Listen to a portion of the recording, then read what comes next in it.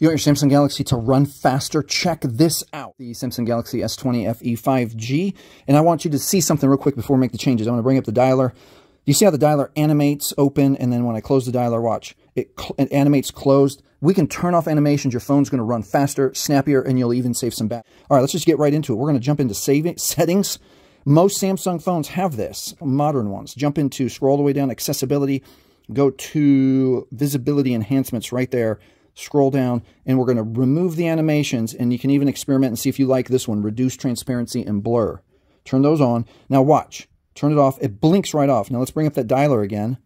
It blinks on and blinks off. Your phone's going to feel snappier. It actually is going to run faster, and you'll save battery. Hey, if this video has really helped you, please do three things for me. Please like, please subscribe, and please visit our friends at Mint Mobile. Mint Mobile is a partner of this channel, and right now they have premium wireless plans starting at $15 per month. For all the details, go to trymintmobile.com slash Jason Clements. That's trymintmobile.com slash Jason Clements. Mint Mobile has the same great high-speed data, unlimited talk and text, nationwide coverage.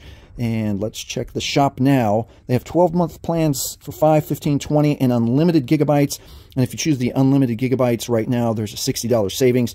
With Mint Mobile, you get the choice of a physical SIM or the new eSIM, and you can keep your current number if you need it. You can bring your own phone. Again, great nationwide coverage and as much data as you need, you can choose. And again, we want to thank our friends and partners at mintmobile.com, and thank you for watching.